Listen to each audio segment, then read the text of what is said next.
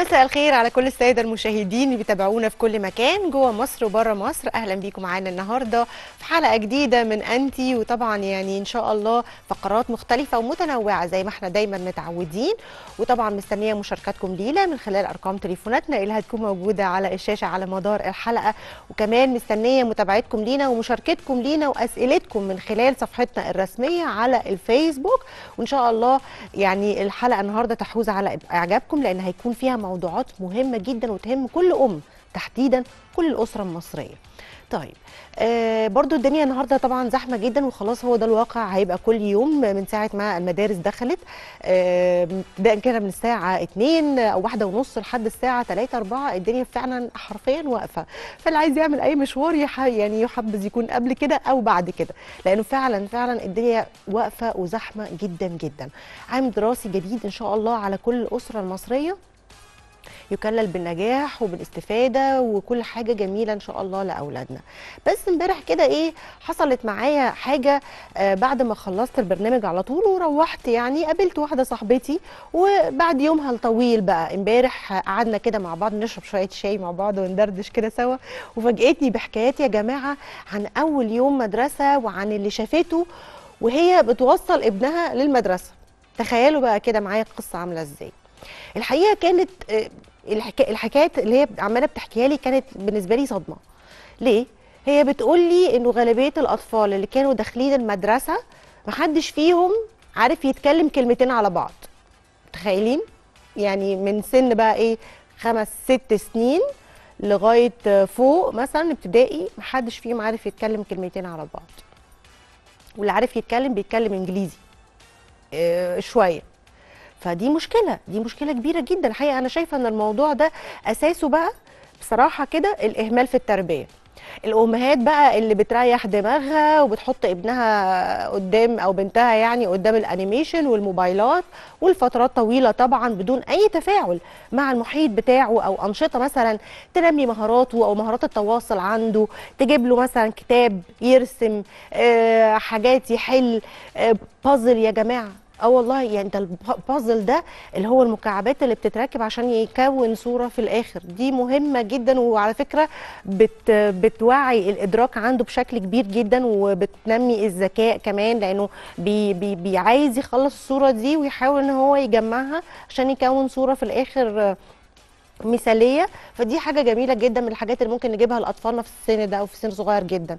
في أمهات كتير بصراحة بتسيب أولادها قدام ال animation والحاجات دي كلها وده بيوصل أي طفل طبعا للتأخر في الكلام وللتأخر في الذكاء وده كله بنشوفه بقينا بنشوفه الفترات اللي جاية. يمكن لو رجعنا شويتين ثلاثة أربعة كده للأجيال اللي قبل كده والجيل بتاعنا واللي قبلينا هتلاقوا إنه يمكن فكرة أو حتى يعني مرض التخاطب ده إحنا ما كناش بنسمع عنه. أو لو كنا بنسمع عنه فكل فين وفين ويعني بين أطفال قليلة جدا جدا. إنما النهارده إحنا بقينا بنسمع عنه كتير ومعظم البرامج بتتكلم عنه ومعظم الناس بتتكلم عنه والدكاترة فيه كتروا جدا في المجال ده. فيعني دي حاجة على فكرة جهاز إنذار لازم ناخد بالنا كويس قوي منه. طبعا يعني الأمهات فاكرين إن هم لما بيسكتوهم بالحكاية دي بإن هم يسيبوا لهم الأفلام دي على الموبايلات هم كده بيريحوا دماغهم طبعا. هم فعلا بيريحوا دماغهم. بس لفتره لفترة صغيرة جدا. بالعكس أنتوا الفترة دي هتبقى أقصر مما تتخيلوا وانتوا كده بتدمروهم بتدمروا ولادكم. أنتوا مش حاسين أنتوا بتعملوا إيه. الطفل ده محتاج الأنشطة والتفاعل والتواصل علشان ينمي مهاراته طول الوقت على مستوى التفاعل مثلا الاجتماعي العيلة تاخديه معاكي في الزيارات. ما تسيبيهوش ما تسيبوش قاعد لوحده في البيت مع الناني. خديه معاكي في الزيارات خديه معاكي في في المشاوير بتاعة البيت لو بتعملي أي حاجة وخدي رأيه اتكلمي معاه. يعني حاولي تخليه يتكلم ويسمع جمل علشان يكون مفردات وجمل كتيرة جدا يحاول يعرف يتكلم. هو بيبدأ البداية من البيت. مش من المدرسة. يعني اوعي تفتكري انه ماشي لما هودي ابني المدرسة هم بقى هيتولوا المرحلة دي أو. هيتولوا المشكلة دي. لا بالعكس انت بتظلميه. بتظلميه ظلم كبير جدا وهقول لك ليه مهارات الذكاء بتنمي المخ بشكل كبير قوي قوي قوي اوعوا تنسوا الموضوع ده بالألعاب وبالحكايات ومش لازم هو يقرأ انت اقري له. فدي برضو بتكون مفردات كتيرة جدا عنده. بلاش تدمروهم بايديكم بلاش. لأنه أنت اللي هتتعبي وأنت اللي هتلفي بيه عند الدكاترة. علشان طبعا تحاولي تحلي المشكلة اللي أنت اتسببتي فيها من الأساس. فيعني أنا ما أتمناش إن أنا أشوف ده ولا أتمنى أشوف أي أم بتلف بابنها عند الدكاترة لأنه حقيقي بيصعبوا عليا جدا جدا. فاستنوا النهارده في فقرات حلقتنا. لأن أنا وعدتكم ان الحلقة النهارده هتكون مفيدة وهيكون فيها فقرات مهمة وخطيرة جدا. هنتكلم معاكم باستفاضة في القصة دي وهنستقبل اتصالاتكم وهندردش في الحلول وفي كل اللي أنتوا عايزين تعرفوه ان شاء الله النهارده في فقرات انسي هتعرفوا كل حاجة تخص الموضوع ده طرق الوقاية. طب لو يا ترى مثلا طفلي فعلا وصل للمرحلة دي وأنا مش عارفة أتصرف أعمل إيه؟ أخده لدكتور متخصص في إيه؟ أبدأ ألعب معاه إزاي؟ أبدأ أوجهه إزاي؟ فكل الحاجات دي إن شاء الله النهارده أنا هحاول إن أنا أيسرها لكم وأحاول إن أنا أطرحها على ضيوفي علشان تستفيدوا على قد ما تقدروا. في بقى إيه؟ حاجة حلوة كده بعيدا عن الموضوع ده بقى وإن شاء الله يتحلوا بإذن الله كل أم بس تاخد بالها الفترة اللي جاية دي على طول. في حاجة حلوة جدا. حصلت عايزة أتكلم فيها معاكم. يمكن من يومين كده انطلق الموسم الثاني للمهرجان النسائي هي والفنون She Arts وده بحضور ومشاركه المطربة العالمية الميزو سوبرانو. فرح الديباني وطبعا هي مصرية أول واحدة انضمت لأوبرا باريس وأول واحدة أو مش أول واحدة بس هي غنت أمام الرئيس الفرنسي مانويل ماكرون. عشان طبعا دي حاجة إحنا نفخر بيها جدا جدا. فرح الديباني مشرفانا في كل حتة وزي ما بقول لكم هي أول سوبرانو مصرية وأول سوبرانو مصرية تنضم لأوبرا باريس. ففرح الديباني افتتحت فعاليات المهرجان وده بحفل غنائي جميل جدا جدا. احتضنوا مركز التحرير الثقافي بالجامعة الأمريكية. وفرح الدباني طبعا معروفة بلمساتها الموسيقية الخاصة جدا جدا. حاجة كده روعة وجميلة تحب إن أنت تسمعها وتشوفها. آه أنا شفتها في كذا لقاء بصراحة وهرجع أقول إن اللي اهتم بموهبتها ووجهها كان والدتها ووالدها وهي صغيرة فاهتموا بولادكم ونموا مواهبهم. لو هم شاطرين في حاجة ساعدوهم إن هم يكبروا الحاجة دي. يمكن تكون هي دي مجالهم بعد كده وهم اللي ينجحوا فيه ويبقوا من أهم العلماء يمكن من أهم النجوم في الفن في الرسم في أي حاجة هم بيحبوها. الجميل بقى في المهرجان ده إنه من أوائل المهرجانات الفنية في مصر اللي بتركز بشكل أساسي على فنون المرأة. كل حاجة تخص المرأة واللي بتحتضن عروض موسيقية وغنائية استعراضات ومسرحيات بتكون البطلة فيها هي المرأة وده احتفاء بإبداعاتها وتقدير وتقديرنا أو تقديرهم هم لفن المرأة اللي بتقدمه.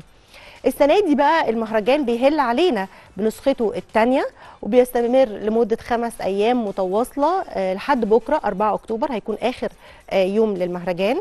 وكمان المهرجان السنة دي يمكن في توليفة منوعة كده من العروض الفنية عروض راقصة استثنائية هيكون فيها أو بتقدمها الراقصة إيمي سلطان وهي راقصة جميلة جدا بصراحة وعروض غنائية كمان جماعية لفرقة لفرقة بهججة وهي فرقة حلوة جدا على فكرة بتقدم عروض لطيفة قوي قوي واللي راحوا شافوا العروض بتاعتهم انبسطوا جدا يعني. فالناس اللي بتحب المزيكا والحاجات دي يعني يروحوا اتفرجوا وتابعوا الفعاليات دي. وطبعا حفل غنائي للمطربة الإماراتية ألماس وعروض مسرحية عرض مسرحي اسمه ضلع مؤنث سالم. وكمان في عرض غنائي للثنائي حافظ وبستان وحفل المطربة كمان مي كمال.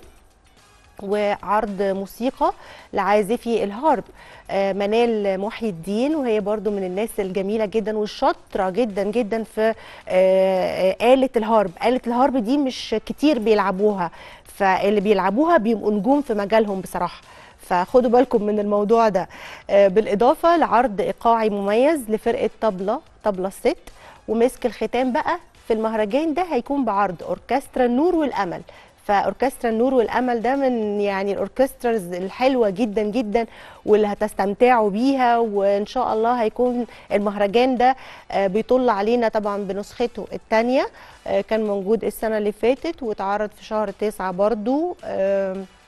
هم اختاروا شهر تسعة يمكن من كل سنة وإن شاء الله برضو نشوفهم بيطلوا علينا بإذن الله الفترة اللي جاية يمكن السنة اللي جاية بقى إن شاء الله برضو في نفس الوقت من العام. وعشان نعرف أكتر عن المهرجان تعالوا كده مع بعض نشوف التقرير ده اللي عملته مراسلتنا الجميلة جهاد عصام ونرجع لكم مرة تانية.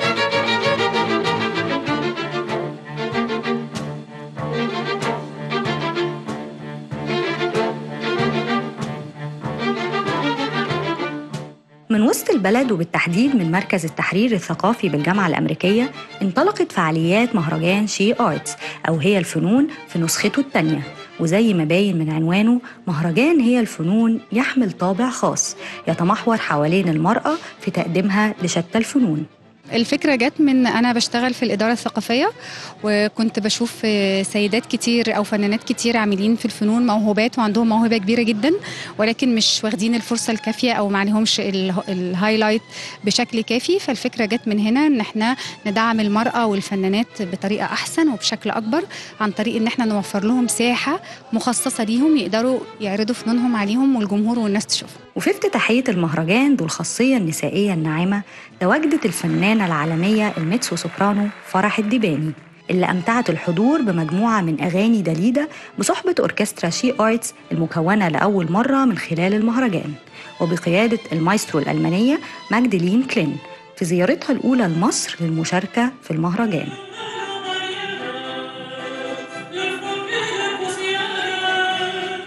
مبسوطة قوي إن إحنا عملنا حاجة أول مرة تحصل في مصر إنه يبقى في أوركسترا كامل من السيدات وبيقادوا بقائدة ست. فدي حاجة بالنسبة لي كانت مميزة جدا مش زي أي حفلة. يعني دي فعلا حفلة مختلفة بالنسبة لي. وفي نفس الوقت أنا مبسوطة إن أنا قدمت بقى داليدا اللي أنا already بغنيها كتير بس قدمتها بأوركسترا كامل لاول مرة في مصر في الإطار هي الفنون. يعني إن هي الفنون ادانا المساحة واداني يعني الفرصة إن أنا أعمل ده فدي حاجة بسطاني جدا يعني. It is such a pleasure, so much fun. I mean, this is my first time in Egypt, and it was such a wonderful reason to come here to work with this orchestra for the first time, all female artists. It's something I love to support. وتضمنت احتفالية الافتتاح عزف فريد لأوركسترا شي آرتس لمقطوعات عالمية وانضمت ليهم الفائزة بجائزة المهرجان السنة اللي فاتت كاثي حليم وغنت أغنيتها الناس الحلوة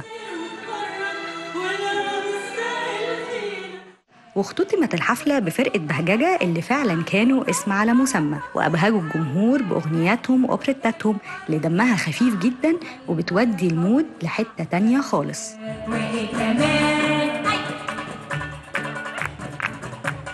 إحنا خمس بنات بدأنا من 2015 بنغني فن المونولوج. إحنا بنحيي فن المونولوج بشكل معاصر. فن المونولوج بقى بتاع اسماعيل ياسين وثريا حلمي وشكوكو.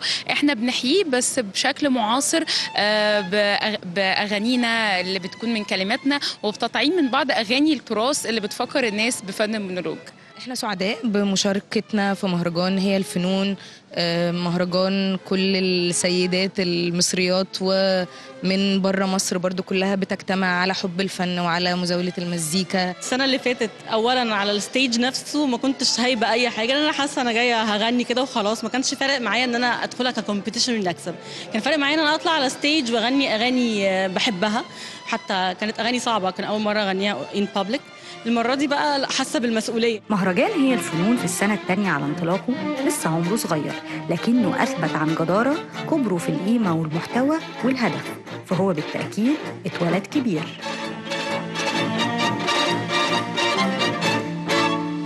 احتفالية نسائية بامتياز مهرجان She Arts أو هي الفنون بيقدم فنون مختلفة وممتعة من موسيقى لغنى لرقص لمسرح والبطلة فيه هي المرأة جهاد عصام انتي. اي زي ما شفنا مع بعض التقرير اللي فات ده في She Arts أو هي الفنون. وزي ما بيقولوا كده المهرجان بدأ كبير وهيفضل كبير. وطبعا المشاركات اللي كانت فيه كانت مشاركات عبقرية جدا وحلوة جدا. وتم كمان يعني استضافة مجموعة كبيرة من النساء الفنانات من دول مختلفة بره مصر. فطبعا دي حاجة جميلة برضو بتحث على السياحة. وشيء جميل جدا إن هم يكونوا موجودين في مصر ويرجعوا مرة ثانية علشان يحكوا عن تجربتهم تجربتهم واللي شافوه في مصر والحاجات دي كلها. وطبعا يعني كل كوم وفرح الدباني آه كوم تاني امتعتنا كانت بال آه يمكن هقول إيه بدليدة بأغاني دليدة. وهي بتحب جدا تغني لداليدا يمكن زي ما هي قالت في التقرير اللي فات ده على طول. وقالت إنه She Arts أو هي الفنون سنح لها الفرصة دي إن هي تقدر إن هي بأوركسترا كامل من غير ما يكون ناقصه ولا عازف أو ولا آلة. كل الأوركسترا كان موجود عزف معاها أغاني دليدة. وطبعا بصوت فرح الديباني طبعا دي حاجة يعني عارفين الماكس ده بقى هو ده بقى الحاجة فعلا اللي تعدل المزاج حاجة كده ولا أروع. وزي ما بيقولوا كده فرح الدباني دايما لما بتكون موجودة في أي مكان بترفع على مصر بترفع اسم مصر فدايما إحنا فخورين بيها ودايما فخورين بوجودها في أي مكان. وزي ما أنتم عارفين آه، هي ليها تقلها بره مصر والناس عارفاها كويس جدا بره مصر وليها جمهور كبير قوي بيروح لها مخصوص علشان يتفرج عليها وبيقطع التذكرة علشان يروح يتفرج عليها من الجمهور الفرنسي وغير الفرنسي والألماني ويعني دول كتيرة جدا بتروح مخصوص. لما بتروح تزور باريس لازم تروح تزور الأوبرا آه، في باريس عشان تتفرج على فرح الدباني أو عرض لفرح الدباني. طيب آه، بتمنى إن شاء الله طبعا التوفيق ل- لشي آرتس أو هي الفنون. وزي ما أنتم عارفين يمكن إحنا كان موجود معانا آه، الخميس اللي فات ده على طول آه، كاتي حليم وهي اللي كانت فايزة بأولى آه، جوائز شي آرتس كانت هي الفايزه بالجائزه الأولى في الغنى. غنت طبعا المرة دي في النسخة الثانية من المهرجان وغنت أغنيتها اللي كانت فازت بيها. وطبعا السنة اللي فاتت كان الموضوع مختلف. هي كانت لسه مش عارفة إذا كانت هي اللي هتفوز ولا لأ فما كانش عندها نوع من أنواع الخوف أو الهيبة أو الحاجات دي كلها. النهارده طبعا الموضوع اتنقل للمسؤولية فالحكاية اختلفت تماما. مبروك لكاتي طبعا وإن شاء الله مبروك لكل آه، اللي ممكن يكون هيفوز في مهرجان شي آرتس. آه، طيب عايزة أقول لكم بقى خبر لطيف جدا. معانا كمان النهارده. إن وزارة التضامن الاجتماعي وقعت بروتوكول تعاون مع مين؟ مع مدرسة ابتكار خانة. وده زي ما أنتم عارفين كده أول مدرسة محلية للإبداع الاجتماعي في مصر وفي الوطن العربي كله. وكمان البروتوكول آه، تم توقيعه بالشراكة مع مؤسسة آه، دروس. البروتوكول ده أول المشروع اللي تم الشراكة عليه بهدف أو هو بيهدف لدعم جهود الدولة المصرية في محافظات الفيوم. وبني سويف بالمبادرة الرئاسية حياة كريمة آه، وده طبعا عن طريق تمكينهم من إطلاق مشاريعهم الاجتماعية الناجحة جدا واللي بتقدم حلول للمشاكل اللي بتحتاج مواجهة فورية. يعني في كده حاجات بتبقى طارئة ولازم يكون فيها على طول حلول فورية فده كله بيتم على طول. وده طبعا آه، هيساهم في خلق بيئة آه، عمل آه، صحية تشتغل فيها مع المبدع الاجتماعي وفريقه ومنظمته من أول مراحل التفكير لحد مرحلة التنفيذ على طول الفعلي لفكرته أو للفكرة اللي مطروحة. وعشان نتعرف أكتر آه، خلينا على المشروع ده خلينا كده نروح مع بعض نشوف تقرير صغير قوي لمؤسستنا الجميلة منى زهدي ونرجع لكم مرة تانية.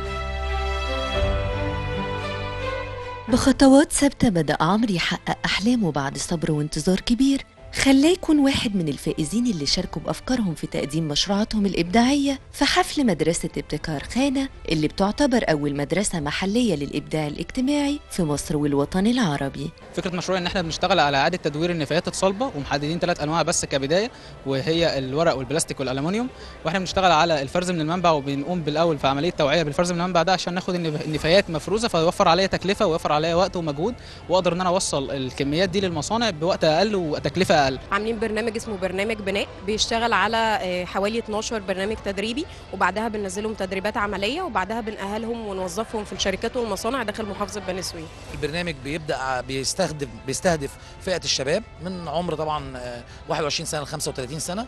بس إحنا كان كنا بنستهدف حاجة مهمة جدا في هذه الفئة الشباب اللي عنده فكر إبداعي أو فكرة مشروع آه، قابلة للتطبيق أو فكرة تكون مبتكرة. الحفل الختامي للمدرسة بيقام بالتعاون بين وزارة التضامن ومؤسسة دروسوس بالإضافة لحضور عدد كبير من الشخصيات العامة ورواد الأعمال الاجتماعيين وصناع التغيير في مصر لدعم جهود الدولة المصرية من خلال مبادرة حياة كريمة للمساهمة في خلق بيئة عمل مزدهرة. سعيدة جدا إن يكون ابتكار خانة بيفتح الطريق للشباب للرجال وللنساء وفي المناطق العشوائية في الريف في الحضر إنه بيفتح المجال للشباب يجي بأفكار جديدة ويبتكر ويدرس الكلام دوت وبيدرسوه معاهم.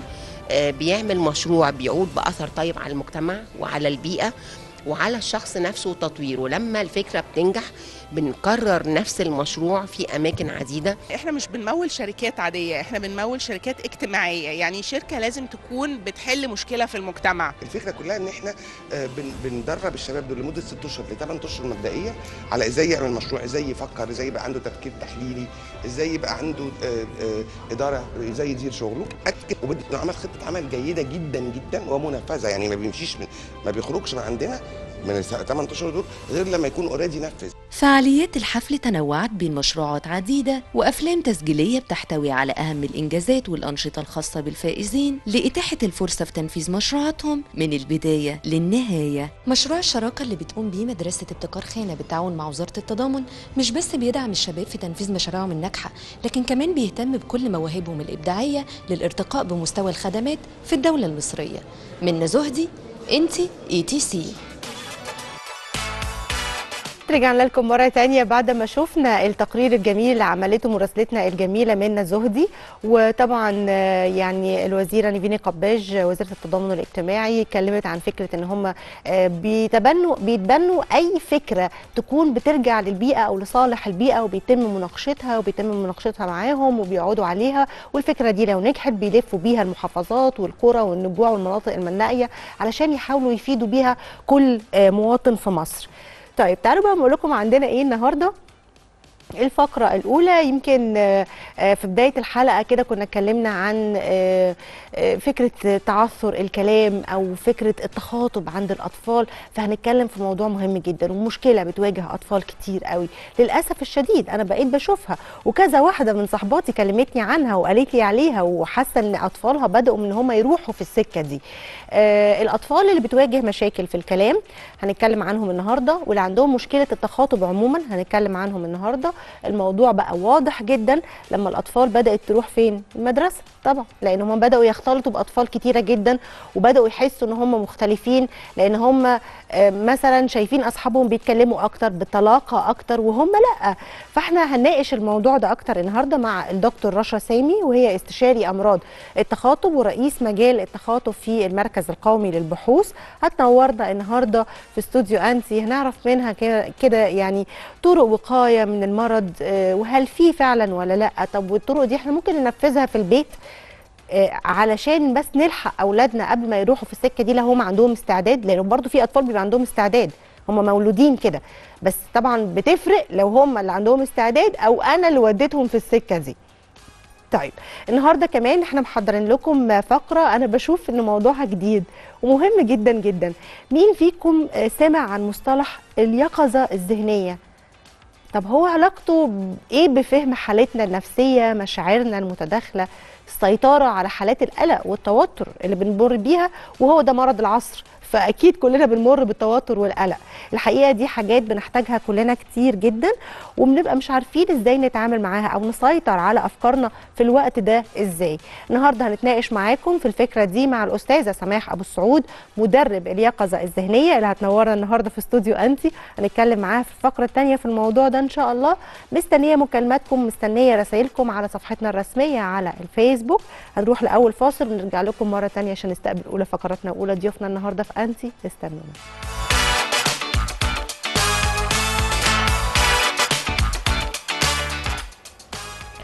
رجعنا لكم مرة تانية مشاهدي أنتي وطبعا يعني بنستقبل أولى فقراتنا وأولى ضيوفنا النهاردة في البرنامج. وزي ما قلت لكم هنتكلم النهاردة في موضوع مهم جدا وهو الأطفال اللي بتعاني من أمراض التخاطب وإزاي تكتشف إنه آه، ابننا عنده أزمة في التخاطب؟ ولو مثلا آه، خلينا الطفل يروح المدرسة وهو عنده المشكلة دي أو مشكلة التخاطب بيكون حل صحيح ولا حاجة ممكن تأذي الطفل أكتر وتيجي عليه أكتر؟ هنعرف إجابات كل الأسئلة دي من الدكتور رشا سامي وهي استشاري أمراض التخاطب ورئيس مجال التخاطب في المركز القومي للبحوث. أهلا بيكي يا دكتور رشا. أهلا بيكي. منورانا النهارده. والحقيقة إحنا بنتكلم في موضوع الساعة لأنه أنا حقيقي بقيت بشوف حواليا كتير جدا أطفال عندهم مشكلة في تعثر الكلام وفي التخاطب وما بي- بيبقاش فيه reaction كده. بالمقارنة بالأجيال اللي فاتت يمكن ده بقينا بنشوفه كتير قوي. خلينا قبل ما نخش في الموضوع أكتر ونتكلم فيه عايزه أعرف الفرق بين طيف التوحد وما بين مشاكل أو مرض التخاطب لأنه أحيانا بيحصل دمج بين المصطلحين. أول حاجة التوحد بيكون طفل مش بيشتكي من حاجة واحدة بيكون بيشتكي من س- سمات مختلفة. يعني مثلا بيكون آه، ما بيتواصلش آه، بالكلام عنده مشكلة في إن هو مطنشك عايش في العالم بتاعه ما بيلعبش مع أطفال عنده poor eye contact ما عندوش تواصل بصري كويس آه، مش بيعبر عن نفسه خالص ممكن ما بينفذش أوامر انت بتقوليها له آه، طفل عنده مشاكل حسية آه، طفل بتحسي إن هو غير اجتماعي عنده مشاكل مختلفة. آه، صحيح. ما أقدرش اشخص توحد من إنه الطفل بس متأخر في الكلام. لا الطفل لازم أشوفه بعمل له اختبارات معينة بعمل اختبارات وكذا حاجة مع الأهل و forms الأهل بيملوها وبكلم معاهم أكتر من مرة أشوف الطفل إيه مشكلته بالظبط وإيه مشاكل الأهل وساعتها بشخصه إذا كان توحد أو لا. الطفل اللي متأخر عادي في الكلام انت تقصدي بمشكلة في التخاطب؟ آه. كتأخر كلام ك- ولا قصدك كمشاكل تانية؟ هو أنا مش عارفة هل التخاطب أصلا فيه درجات وهل فيه مشاكل عدة ولا هو التخاطب بس عبارة عن إنه الطفل ما بيتكلمش في السن اللي المفروض الطفل يتكلم لا فيه التخاطب ده ده دكتور التخاطب آه. دكتور أمراض تخاطب لكن هو بيبقى طفل متأخر في الكلام طفل عنده مشكلة في اللغة مثلا طفل عنده مشكلة في بعض الحروف طفل متأخر في النطق طفل عنده تلعثم طفل عنده خنف طفل عنده مشاكل مثلا في البلع أو حد كبير عنده مشاكل في البلع سواء صغير أو كبير يعني أمراض التخاطب بتشمل الصغيرين مم. والكبار أمراض صوت مم. دي تبع ال- المشاكل اللي إحنا بنقابلها اللي إحنا دلوقتي ممكن نتكلم مثلا أو نقول الفرق بين طفل عنده آه، طيف توحد أو طفل تاني عنده تأخر كلام. في المدرسة لما بيدخل يفرقوهم إزاي؟ في طفل ما بيبقاش عنده استجابة خالص وفي طفل بيبقى بيستجيب بس مش بيرد عليا. آه بينفذ أمر أنا بديهوله بس مكسوف يرد أو ما عندوش حصيلة لغوية كافية عشان يرد. ساعتها دوت ببتدي أبعته لدكتور أمراض تخاطب بجيب الأهل بتكلم معاهم كمدرس. شفت المشكلة دي؟ الطفل دوت مش لما بقارنه هو مش زي صحابه. آه مش لازم أشاور وأقول بالظبط عنده إيه مش دور المدرس. هو هيقول هو مختلف عن صحابه في كذا. يعني هنا دور المدرسة مهم جدا في إن هو برضو يوعي الأهل بالمشكلة اللي عند الولد. طبعا. لأن هم كمان بيتعاملوا معاهم بشكل لازم يكون في يعني action و reaction بالظبط كده. فلو لقيت المدرس بينقل لي بعض ال concerns اللي عنده آه، هو قلقان من حاجة معينة أو شايف الطفل دوت مش زي أقرانه ساعتها الأهل بياخدوا ال concern بتاع المدرس ده وبيروحوا يستشيروا دكتور امراض تخاطب دكتور طبيب نفسي أطفال أو ايا كان ال- الحاجة اللي هم شايفين إن هم محتاجين يستشيروا دكتور فيها وساعتها بيعمل اختبارات ونعرف إيه مشكلة الطفل. طب سؤال كده يا دكتور رشا عشان خاطري إيه خلينا نتكلم بشكل واقعي أكتر. هو فعلا الفيديوهات وال والألعاب والجيمز اللي الأطفال بنسيبهم بساعات كتيرة جدا قدام الموبايل قدام التلفزيون دي فعلا ممكن تأثر عليهم؟ ممكن تجيب. لهم كارثة؟ دي كارثة. لا مش هجيب لهم توحد. آه. عشان بس يعني نبقى واقعيين. لا توحد, توحد. ولكن طبعا بتعمل بس ممكن تأخر. الكلام؟ طبعا بتعمل تأخر بتعمل تشتت بت بتأثر على التركيز عند الأطفال بتأثر على التفاعل. بتخلي الأطفال مش مش اجتماعيين any more بتخلي الطفل بيبقى مبسوط إن هو بيلعب مع حاجة مش طالبين منه حاجة مش طالبين أي interaction قاعد مكانه ما بيتحركش مش طالبة منه أي physical activity فطبيعي الأطفال تتبسط بحاجة زي كده. لكن الأهل بيأذوا أه- اولادهم جدا لما بيسيبوهم قدام الشاشات. دي بتأثر. فرحان. آه طبعا ويقول لك ده بيلعب. كبير قوي. طبعا تدمير. بيقول لك الطفل ده ده ذكي جدا. ده بيعمل كل حاجة ده بيلعب لعب ده بينزل حاجات أنا ما أعرفش أجيبها. أيوه مش دي الشطارة هو ده. single channel ده حاجة أنا بتلقى منها ولا أرسل. فإزاي الطفل هيتطور الطفل بيتطور باللعب الطفل بيتطور بالتمرينات الطفل بيتطور في الحضانة الطفل بيتطور لما كان زمان بيسيبوا الولاد خمس ست أطفال مع بعض ويلعبوا مع بعض كنت يعني بتلاقي إنه قليل قوي لما يكون حد عنده مشكلة طبعا. دلوقتي في awareness. أكتر مم. إحنا عارفين إنه بقى في مشاكل بقينا خلاص انت لما بتشوفي طفل مختلف عن الولاد اللي في سنه تبقي عارفة الولاد ده عنده مشكلة. يعني أنا هقول ان مرض التخاطب والتوحد أو مرض التخاطب أو تأخر الكلام ده ممكن يكون مرض العصر عشان خاطر ال videos وال games وال والحاجات ال electronics الكتير اللي بنسيبهم آه، مع نفسهم كده وبنريح دماغنا وخلاص. هل في أنا بشوف إن الألعاب كمان يعني إحنا وإحنا صغيرين كنا بنلعب حتى لوحدنا يعني حتى لو مفيش حد ألعب معاه أكيد حضرتك برضو مريتي بالموضوع طبعاً. ده. أكيد لعبتي مع نفسك كتيرة جدا ومع عرايسك ومع الحاجات بتاعتك. الحقيقة بس يعني كنا بنلعب أكيد طبعا. في وفي أطفال في سنجل تشيلدرن يعني في أطفال بيكون طفل وحيد وبيلعب لوحده ما فيهاش مشكلة. والبازل مثلا يعني بشوف إن البازل برضو من الحاجات الجميلة جدا اللي هي لعبة وفي نفس الوقت بتنمي الذكاء بتنمي الإدراك. يعني في حاجات ألعاب لذيذة ممكن نجيبها. للأطفال. ممكن يدخلوا محل ألعاب ويشوفوا اللي مناسب لسن الطفل طفل عنده ثلاث سنين شوف كل صف اللعب اللي عليه ثلاث سنين واختار اللي طفلك يحبه. صح. ويتفاعل بيه. ما هو مم. حاجة من إن أنا بنمي بيها قدرات الطفل عن طريق اللعب. مم. حتى جلسات التخاطب إحنا بنديها عن طريق اللعب. إحنا مش بنقعد. نعمل حاجة. إحنا بنلعب مع الأطفال الصغيرين عشان يبتدي نجذب انتباههم. نبتدي نخليهم يطلعوا كلام. نبتدي نخليهم يستوعبوا أكتر. بس طبعا بيكون في مشاكل تانية. يعني مش شرط إن الطفل اللي متأخر في الكلام يبقى بس هو مشكلته إن هو أهله سايبينه مع ال- screens وكده. ممكن يكون طفل على فكرة متساب لكل الشاشات وكل حاجة. وبيتكلم كويس جدا. فدي مش شرط يعني مش شرط إن هي هتاثر عليه. مم. هتأثر عليه في حاجات تانية. okay. هتأثر عليه تخليه منعزل شوية هتأثر عليه ممكن تخليه aggressive شوية هتخليه بيقلد حاجات مش مظبوطة ممكن يفتح videos مش مش مناسبة مش لسنه. طبعا. آه مش هيكون اجتماعي ال attention عنده ممكن يتأثر اللي هو الانتباه. آه الحاجات دي كلها ممكن تأثر عليه لكن ممكن ما تأثرش على اللغة. ولكن في طفل ممكن يكون عنده مشكلة إدراكية. ممكن عنده استعداد. طبعا. يكون وفي في نفسيا هو عنده عنده استعداد أو مولود كده. آه طبعا. وفي طفل ممكن يكون عنده مشكلة إدراكية دي اللي مخليه متأخر في الكلام. ممكن يكون طفل أصلا مش سامع. آه. وعنده مشكلة في الكلام. أيوه. ف... فلازم لما أنا بقارن تاني ابني أو بنتي باللي في سنه ألاقيني هو مش زي اللي في سنه في أي حاجة لازم ألجأ للطبيب على طول. على طول يعني لما أكون شايفة إنه في فرق بينه وبين اقرانه أو اللي في سنه طبعا. لازم ألجأ للدكتور. طب أنا إمتى أقدر أنا كأم أحكم على ابني إن هو عنده مشكلة في التخاطب؟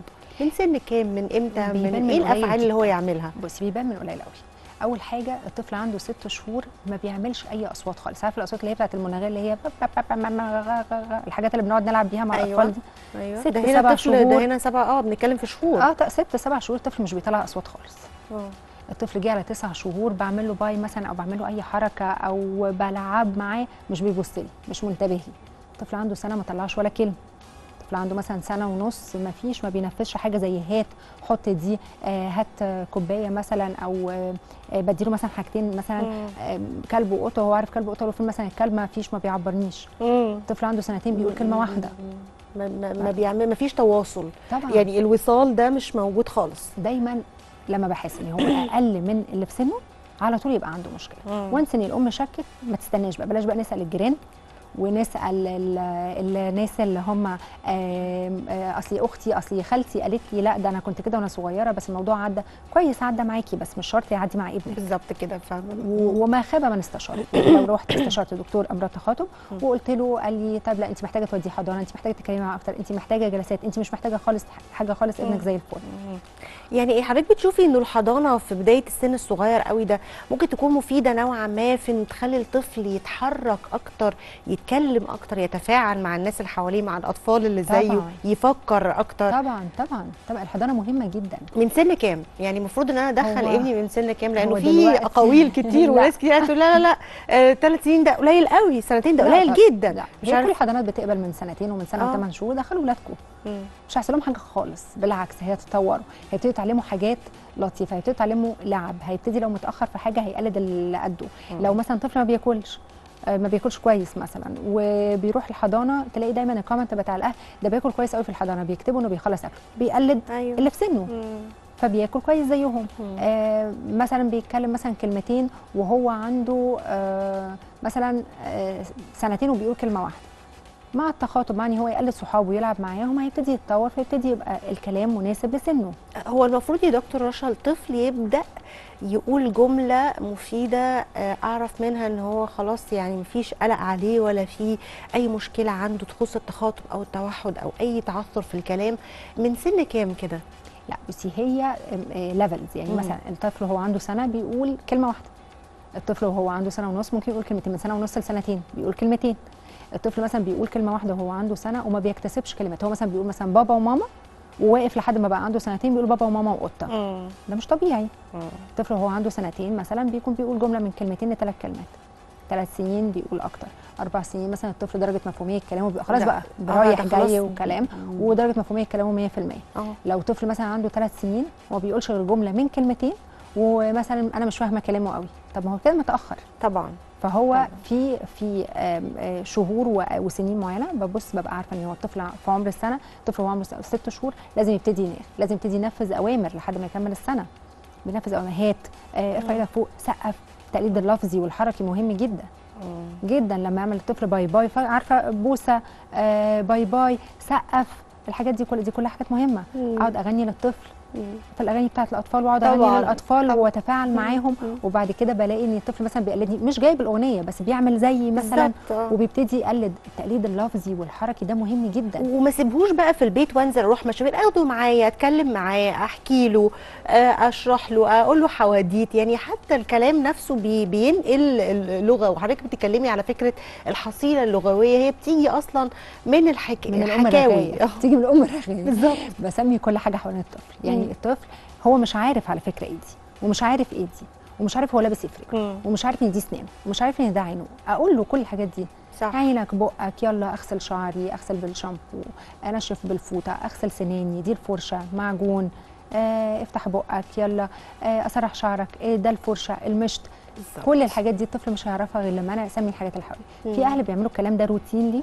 من غير ما يتكلموا اسرح شعره واحميه واسرح له شعره وانيمه والبسه بيجامته ولا قلت له ده بيجامة ولا لما اكل ساندوتش عرف إن ده ساندوتش لا جبنة ده مثلا. في كمان كارثة ده بيسيبوهم مع النانيز وما بيسألوش فيهم خالص. يعني المهم إن هم كلوا وناموا كويس وخلاص. إحنا معانا آه تليفون جميل جدا من دمياط. معانا خديجة. ألو؟ ألو السلام عليكم. وعليكم السلام يا خديجة. أهلا بيكي معانا. إحنا ب... أهلا بحضرتك وبالدكتورة اللي معاك. عندك سؤال للدكتور يا خديجة؟ أيوه عندي سؤال. اتفضلي بقول لحضرتك أنا ابني وديته ال- المدرسة بس ما عندوش تفاعل مع المدرسين. عنده كام سنة؟ عنده ست سنين. طيب عنده تفاعل مع صحابه؟ لا برضه مش بيعرف يتعامل معاهم ولا بيلعب معاهم حتى. طب بيتكلم ولا ما بيتكلمش؟ بيحبش يلعب مع حد. بيتكلم ولا ما بيتكلمش؟ لا هو بيتكلم. يعني بيقول. جملة من كام كلمة؟ إيه؟ بيقول جملة من كام كلمة يعرف يحكي لك حكاية؟ بي بي بيبقى لسانه تقيل. طيب يبقى إحنا لازم نستشير دكتور أمراض تخاطب يعمل له اختبارات ويشوف هو إيه آه. المشكلة اللي عنده بالظبط. إيه المفروض دلوقتي ما يكونش عنده ولا لسانه تقيل ولا عنده مشكلة في الكلام ويكون بيعرف يعمل صحاب وبيعرف يلعب مع صحابه وبيتفاعل مع المدرسين. فإحنا لازم مع- نستشير دكتور أمراض تخاطب. هي المدرسة قالت لي وديه تخاطب لأن عنده في الحروف ما بينطقش الحروف. مهما كلمه ومهما وعيه ما فيش فايدة. طيب إحنا محتاجين هنعمله شوية اختبارات و... وساعتها آه، الدكتور هيقول لك إيه مشكلته بالظبط هل هو عنده مشكلة أكتر من تأخر الكلام ولا هو مجرد تأخر في الكلام؟ أنا عايزه أعرف من خديجة هل في أخطاء أنت يعني هل هو عنده إخوات مثلا بيتكلموا كويس هو بس اللي عنده المشكلة دي ولا أنت مثلا أخطأتي في حقه ما كنتيش مدياله وقته الكافي آه، الرعاية الكافية الكلام الحاجات دي كلها؟ لا أنا عندي فعلا لي أخت بتروح الدرس معاه هي بتتكلم كويس وبتتفاعل مع المدرسة إيه إنما هو مش بيتفاعل هو مش بيتفاعل مش عارفة ده خوف ولا ده إيه. لا يا متهيألي زي ما الدكتور لازم قالت. لازم تستشيري دكتور أمراض تخاطب لازم تاخديه عند دكتور أمراض تخاطب. دكتور أمراض تخاطب ده هيكشف عليه يعمل له بعض الاختبارات ونشوف المشكلة منين بالظبط والدكتور هيقول لك على طول ما تقلقيش. ميرسي يا خديجة شكرا ليكي ومعانا أسماء من حلوان. ألو؟ ألو؟ أهلا بيكي يا أستاذة أسماء. أهلا بحضرتك يا أستاذ عندك أي سؤال للدكتور رشا؟ آه. أنا عندي بنتي في ثالثه ابتدائي بس هي بتطول في الكلام شوية يعني لما بتيجي تقول كلمة بتمد فيها كده شوية. طيب عندكم أي حد في العيلة من طرف حضرتك أو من طرف باباها عنده تلعثم؟ تحتها في الكلام؟ آه، وعمها كان اتأخر شوية في الكلام ما اتكلمش إلا هو كبير شوية. طيب آه، محتاجين إن إحنا برضو نكشف عند دكتور أمراض تخاطب علشان يقول هي عندها تحتها ولا بس ممكن تكون متأخرة شوية في الكلام فمش ما عندهاش حصيلة لغوية كافية آه هي اتكلمت وهي كبيرة شوية. طيب ما هو إحنا محتاجين إن إحنا هنعمل لها اختبار لغة ونشوف هل هي بس متأخرة في الكلام ما عندهاش حصيله لغوية كافية فبتطول لحد ما تجمع الكلمة ولا هي عندها آه، مشكلة في, ال- في عندها تلعثم مثلا وإيه درجته وفي كل الحالات هتبقى محتاجة جلسات تخاطب.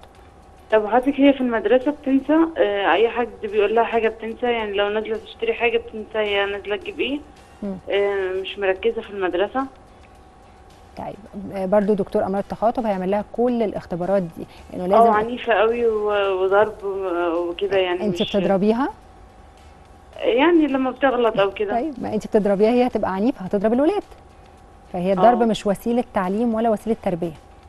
هو الطريقة إن إحنا بنربي إن أنا ممكن أعاقبها على حاجة عملتها غلط بفهمها هي عملت إيه. بقول لها المرة الجاية هتتعاقبي وبنفذ العقاب. لكن الضرب هيخليها عنيفة وهتضرب ولاد تانيين معاها في المدرسة هتضرب الأضعف منها يعني لأن أكيد مش تقدر تضربك. آه عنادية قوي وعنيفة قوي و يعني انت ما- بحاول أغير ده معاها انت ما رحتيش لأي دكتور أمراض تخاطب قبل كده؟ لا ما رحتش بس أنا انتي- كنت عايزة عشان خاطر موضوع إن هي بتمد في الكلام لا انت لازم تروحي لدكتور أمراض تخاطب آه علشان تشوفي إيه مشكلتها بالظبط. الدكتور هيعمل لها بعض الاختبارات وه- وهيكشف عليها وهيقول لك ساعتها إيه مشكلتها وإيه الحل. شكرا ليكي شكرا ليكي يا. أستاذة أسماء طبعا هنا آه، لغة الضرب آه، واضح إن هي المسؤولة عن آه، البنت إن هي عنيفة إن هي طبعاً عنادية العنف والعند كلها. أكيد أكيد من الضرب. ولكن البارت بتاع إن هي بتتأخر في الرد أيضا هي عندها تلعثم أو متأخرة في الكلام وفي الحالتين لازم تكشف عن دكتور أمراض تخاطب ولازم الدكتور يشخصها ويعمل لها بعض الاختبارات عشان يأكد إيه مشكلتها. بس حضرتك سألتيها سؤال أنا استوقفني بصراحة. قلت سألتيها إذا كان هل باباها أو مامتها أو حد في العيلة عنده تلعثم أو تأتأة هل التخاطب ده ممكن يكون مرض وراثي؟ طبعا. آه. طبعا.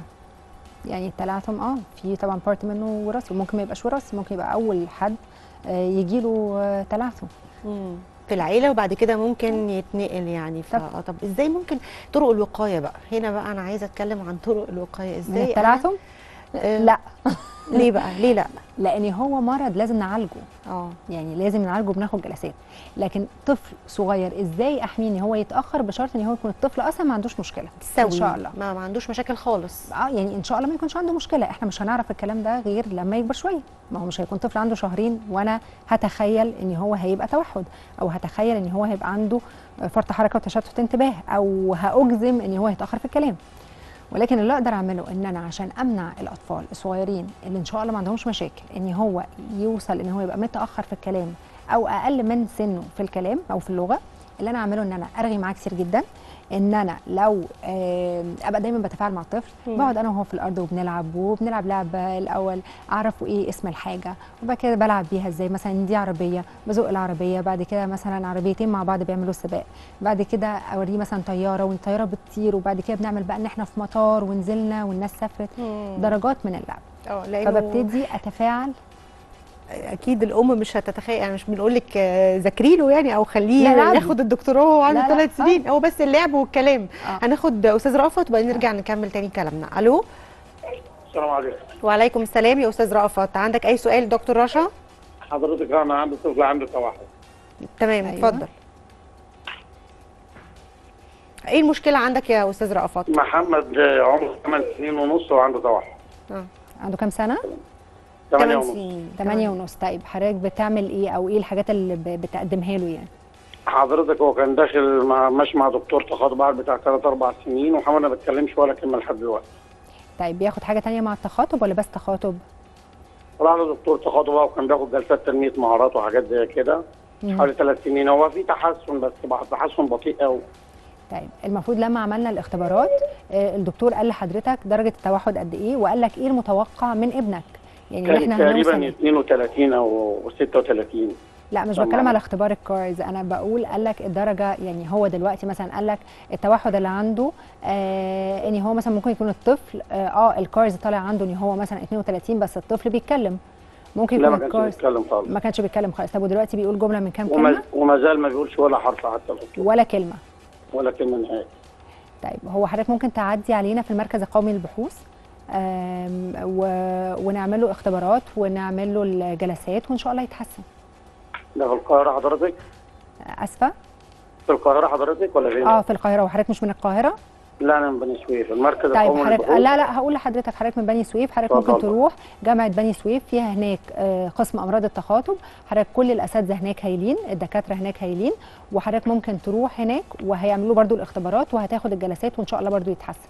في جامعة مع بني سويف حضرتك بياخد جلسات هو حتى الدكتور اللي هو كان بيكشف عنده كان من ضمن دكاترة جامعة بني سويف وكان بيكشف عنده بياخد جلسات بره وحضرتك تحسن بطيء بدرجة غريبة بطيء جدا ما هو جداً أكيد جداً. الدكتور قال لحضرتك هو إحنا واصلين لإيه أو الطفل ليه التحسن عنده بطيء ما بستفادش حاجة والله منه يا دكتور يعني محمد المفروض حتى نتكلم كنا أي حاجة بقول له طب يا دكتور هيتكلم إمتى؟ قال لي والله ده أنا هو يتكلم. طب إمتى يا دكتور؟ قال لي هو بيخزن بيخزن وفجأة كده هتلاقيه يتكلم مرة واحدة. كان إمتى؟ الله أعلم. ما دلنيش على حاجة أنا وما ادانيش معلومة. طيب يعني برضه يا أستاذ أشرف اسمع كلام الدكتور روح لد... روح برضه للدكتور تاني وتالت ما تسيبش ابنك كده يعني حاول. وقعتني أنا مش بسيبه والله ولا أنا عايز أسيبه أنا عايز لو في أي حل يعني أنا حضرتك ممكن تجي لنا في المركز القومي للبحوث زي ما قلت لك آه، وتجيب معاك كل الاختبارات اللي حضرتك عاملها لابنك ونشوف هو واصل لإيه ونعرف هو ليه ما بيتطورش. هو حاليا أنا عملت له اختبار من فترة قريبة آه الاختبار طلع سمات توحد هو دلوقتي بقى اسمه طيف توحد ف... فما فيش حاجة اسمها سمات ده فحضرتك ممكن حضرتك الدكتورة أو الاستشارية اللي عملت لي الاختبار هي قالت لي كده طبعا أنا هي أدرى طيب آم، زي ما قلت لحضرتك حضرتك ممكن تعدي علينا في المركز القومي للبحوث وإحنا ساعتها هنعمل له بعض الاختبارات ونشوف الاختبارات اللي حضرتك عاملها ونعرف ليه ما فيش تطور أو ليه ما فيش تحسن مظبوط كده يا أستاذ لأن أشرف ساعات بيكون درجة. توحد عالية بتخلي إن استجابة الطفل مش زي ما أهله متوقعين مم. ولازم الدكتور يقول لحضرتك الكلام ده مم. يعني هنا في مشكلة أستاذ رأفت إنه الولد عنده 8 سنين ونص يعني خلاص عدينا بقى مرحلة إن هو لازم يكون بيكون كلام وبيتكلم عادي والكلام طبعا ده أولاد كتير بيكون عندهم سنهم كبر شوية وبيبقى بياخدوا جلسات بقالهم فترة ومش بيتطور ولكن الدكتور بيقول لل- للأهل من الأول مثلا درجة التوحد عالية جدا. ف والطفل متوقع إن هو ما يوصلش غير لل level معين. فلازم يتقال للاهل مم. الكلام ده عشان ما يبقاش عندهم expectations أو. توقعات إن الطفل دوت هيبقى زي أقرانه. أيوه صح أكيد ف- فدوت أنا ببتدي أعلي الاكسبكتيشنز أو التوقعات بتاعت الأهل واقول له ده هيتحسن ده هيبقى كويس جدا. فكده مش كويس برضه. فكده آه، مش كويس. بن- فعشان كده دايما بفضل انه. إنه الأهل لازم يروحوا لد- لدكتور أمراض تخاطب يشخص وبعد كده بناخد الجلسات. دكتور أمراض تخاطب. طيب أنا دلوقتي عايزة أعرف بقى المركز القومي للبحوث وتحديدا وحدة التخاطب بتقدم إيه؟ إيه الخدمة اللي بتقدمها للناس؟ وعايزة أعرف برضو هل الأسعار يعني مناسبة لكل الأسرة المصرية ولا هي بالمجان ولا بأرقام رمزية؟ يعني عايزة أتعرف أكتر على الخدمة. أول حاجة إحنا بنقدم خدمة كاملة في المركز القومي للبحوث. بنقدم آه، دكاترة إحنا اللي بنكشف وبندي جلسات كمان. في عندنا ثيرابيست بيدوا جلسات أخصائيين بيدوا جلسات ولكن في دكاترة كتيرة جدا بتدي جلسات بنفسها. ده مش موجود في أي مكان تاني على فكرة. آه. يعني معظم الأماكن الأخصائيين بس بيدوا جلسات. إحنا في دكاترة بنفسنا بندي جلسات. عظيم آه الحاجة الثانية إن إحنا عندنا بنعمل كل الاختبارات. في عندنا موجود في المركز آه تنمية مهارات في آه غرف حسية في آه في آه علاج طبيعي في كذا حاجة في سايكايترست دكاترة أمراض نفسية أطفال. فممكن ياخد خدمة كاملة وياخد كل الجلسات بتاعته في المركز الأسعار آه، لا ما فيش أسعار هي أسعار طبعا بسيطة جدا آه، بس ما فيش مجاني ولكن في تأمين يعني عاملين. كذا ديل مع التأمينات آه. فبيبقى بأسعار رمزية يعني والله دي حاجة جميلة جدا بصراحة. يعني إحنا طول الوقت بن بنقول للناس ان حاولوا تستفيدوا على قد ما تقدروا من الخدمات اللي بتقدمها الدولة. حضرتك بتقولي إنه يعني ال ال ال العلاج أو الأسعار يعني ما هياش كبيرة واسعار آه وفي رمزية أماكن تانية ما. كمان في المركز القومي للبحوث في القصر العيني آه وحده امراض تخاطب في عين شمس وحده امراض تخاطب في معهد السمع والكلام. كل الجامعات اللي موجودة جامعة بني سويف آه جامعة أسيوط آه آه جامعة المنصورة في جامعات كتيرة جدا فيها أقسام أمراض تخاطب وبيدوا جلسات وبيكشفوا قوي. فالأهل مش لازم يكون عنده مقدرة مادية معينة عشان يبتدي يعالج ابنه ممكن يروح آه، جامعات أو يروح أماكن حكومية وفي مستشفيات كتيرة فيها مستشفيات حكومية فيها تخاطب طب حلو قوي يعني أنا. بس بقول لكل أم ولكل أب لو أنت عندك مشكلة أو طفلك عنده أي مشكلة على طول توجه آه، روح للمركز القومي للبحوث روح للقصر العيني بيقدموا الخدمة دي بنفسهم بيعملوا بيكشفوا على الطفل الدكاترة نفسهم هم اللي بيكشفوا وطبعا الأرقام يعني زي ما الدكتور رشا بتقول يعني الكشف بأرقام بسيطة مش غالية ابدا فتقدر أي أسرة مصرية تستفيد من الموضوع ده. وطبعا لو عندك أي تأمين من أي نوع فالموضوع برضه هيبقى إيه مخفض أكتر بكتير قوي. طبعا. ناخد بقى أمال من الجيزة. ألو؟ مساء الخير. أهلا بيكي يا أستاذة أمال. يا سمحت ممكن أكلم الدكتورة؟ بس أنا. عندي آه سؤالي إن عندي ابن بنتي سنتين. يا دوبك بيقول آه، ماما وبابا. ووديناه حضانة من سن آه، سنة ونص وكده. بس ما بيتكلمش أكتر من كده بس بيفهم. هات ده يجيب ده ودي ده يودي ده. يعني عنده الفهم كويس. حلو بس قوي ما بيقولش إلا ماما وبابا بس. طيب آه طفل عنده سنتين ما بيقولش غير. ماما وبابا فهو متأخر. كويس إن هو بيستجيب. معنى كده إن شاء الله القدرات العقلية عندنا كويسة. يبقى إحنا نعمل إيه؟ نتوجه لدكتور أمراض تخاطب أقرب مكان ليكي. عشان بعد كده هتنتظمي في الجلسات. ودي حاجة عايزة أنصح بيها كل الاهل إنه إن أختار مكان. أدي فيه جلسات تخاطب قريب مني. بلاش أودي مكان بعيد أقول أصل الدكتور هناك شاطر أو أصل الأخصائي ليه بقى؟ هتفرق في إيه؟ عشان الاستمرارية لأن آه. ساعات الجلسات بنقعد فيها ست شهور وسنة ياه. وأكتر فزي ما بقول لحضرتك حضرتك هتودي آه، حفيدك لدكتور أمراض تخاطب آه ويبتدي ياخد جلسات طب وهيتحسن إن شاء الله فكرة الاستمرارية دي بقى مهمة جدا لازم جداً. ننصح بيها الآباء والأمهات طبعا الاستمرارية أهم حاجة في جلسات أمراض التخاطب طب عشان في في أولاد بقى إيه يعني بيحسوا إن هم خلاص بدأوا يتحسنوا فخلاص إحنا هنكمل معاهم في البيت بقى يعني إحنا اللي هنقدم الخدمة. ساعات بتكون التكلفة عالية على الأهل. فبيختاروا إن هو يكمل في البيت. مفيش مشكلة لأن هو بيكون اشتغل معاه كتير قوي عارف بيشتغل إزاي بقى له مثلا سنة أو سنة ونص بيشتغل. والأم ممكن بتعمل بتعمل تدريبات وبتعمل حاجات معينة ودورات بتحضرها بتخليها تقدر تتعامل مع الطفل وهتبقى هي أكتر واحدة قلبها عليه. أنا مش ضد الفكرة. لا. ولكن تمشي بقى مع دكتور إن هو مثلا ممكن يعمل لها هو بروجرام معين بيقول لها مثلا إيه الأهداف اللي محتاجة تشتغل عليها محتاجة تشتغل على إيه أكتر من إيه وتتابع مع الدكتور وهي تشتغل معاه في البيت. طب عشان برضو برجع وأقول إنه لو التكلفة عليكم غالية زي ما الدكتور كده كانت بتكلم برضو متصلة وقالت لها أنا من قالت لك أنا كنت منين؟ من اسوان من بني سويف. فبرضه في في كل أماكن آه، في هناك تتوجهوا للجامعة المستشفيات الجامعية ممكن تلاقوا فيها الخدمة دي بتتقدم وبتتقدم بشكل برضه يعني يمكن بالمجان أو يمكن بأرقام رمزية جدا عشان لو في حد فيكم مش قادر يكمل مع دكتور آه، لو هو غالي شوية أو حاجة فمعلش إمتى كأم أحس بالخطر؟ وهل أنا لو وديته المدرسة أبقى بأذيه وبعرضه للتنمر وبعرضه لحاجات ممكن تهزه نفسيا ولا المفروض أتصرف إزاي؟ خالص ودوا ولادكم المدارس والحضانات. ما فيش حاجة اسمها هيتعرض للتنمر لأ أنا لما بدخل أودي ابني مدرسة أو حضانة وأقول إيه مشكلته للقائمين على المكان هم دورهم إن هم يحموا ابني. آه لما هيعرفوا الأولاد انه الطفل ده عنده مشكلة وإن إحنا لازم نتعامل معاه بطريقة معينة طفل مثلا عنده ثلاثة وعنده تسع سنين. هل أخبي على المدرسة ولا أقول المدرسة عشان المدرسة تقول الأولاد وتخلي محدش يتريق عليه وعلى كلامه؟ لا يبقى كده أفضل إن أنا أقول طبعا. بالظبط لأن دوت هيفيد الطفل أكتر. آه في أهالي للأسف بتتمسك بمدارس معينة وتداري عليها وتخبي إن الطفل عنده مشكلة عشان عايز ولادي كلهم مع بعض. لو المدرسة دي مش هتفيد ابنك بليز ينقله من المدرسة دي لمدرسة تانية هتفيده. بتقدم له دعم بتقدم له دمج بتقدم له آه، جلسات في المدرسة بتقدم له حتى مدرس يكون فاهم إزاي يتعامل مع الطفل. فبدل ما اكون الثمان ساعات اللي الطفل موجود فيهم في المدرسة مش بيتطور ومش بفيده لا أنا ممكن المدرسة تساعدني جدا وتكون سبب في تطور ابني وتكون سبب إن هو في علاج مشكلته. صح يبقى أنا كده لازم أنا والمدرسة نكون متفقين على فكرة إن الولد. عنده مشكلة ولازم يتحسن. إحنا دايما بنشتغل بيكون الأهل الثيرابيست طبعا والمدرسة والحضانة وكل القائمين على إن هم يحسنوا الطفل وقدرات الطفل. مم. فإحنا بنشتغل ترياد فما ينفعش إنه حاجة منهم تقل لازم الثلاثه يشتغلوا مع بعض كلنا بنشتغل مع بعض. لازم نتكاتف. معانا. علا على التليفون. ألو؟ السلام. عليكم وعليكم السلام. إزيك يا علا؟ اتفضلي. الحمد لله. اتفضلي مع الدكتور ووطي التلفزيون لو سمحتي. مصير عندي آه، عائشة. عندها تسع سنين. اتفضلي كملي. آه، بس. آه، هي م- آه، عندها سنة ثالثة يعني. آه. مديها دروس وكده وحاولت إن أنا أعلمها. بس تبقى حافظة وتيجي ثاني يوم تنسى كل حاجة. طيب آه، بتشتكي من أي حاجة تانية ولا بس إن هي بتنسى؟ لا موضوع أقعد أنطر فيها كده تبص كده وتضحلك في عينيها وما تقدرش ترد عليك. من وهي صغيرة ما بتردش عليكي ولا ده حاجة جديدة؟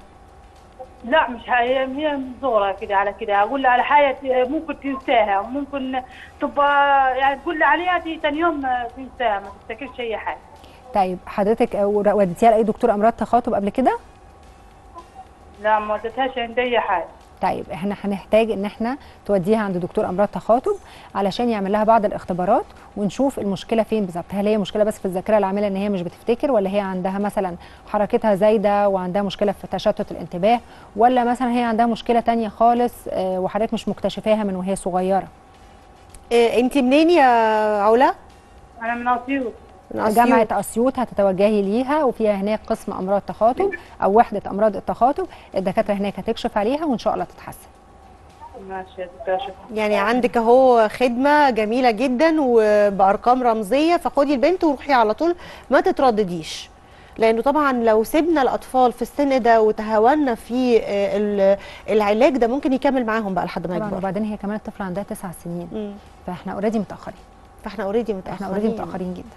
فأنا أنصح أي أهل أول ما تلاقي ان ابنك من وهو صغير مش بيتفاعل كويس لأن ممكن تكون مشكلة أكبر بكتير من مجرد ذاكرة عاملة أو من تشتت انتباه ممكن تكون مشكلة أكبر من كده بكتير. فما أقدرش أقول ساعات في أطفال بيبقوا مثلا الأهل فاكرين هم متأخرين أو بيطنشوهم أو. whatever المشكلة هي إيه وبنيجي مثلا على 8 سنين يفاجئوا إن الطفل عنده توحد. مظبوط. فما ينفعش إن إحنا نسيب الولاد ونقول مشكلة وهتتحل لأ روح استشير دكتور أمراض تخاطب زي ما قلت في الأول هو هيفيدك هيقول لك ابنك عنده مشكلة؟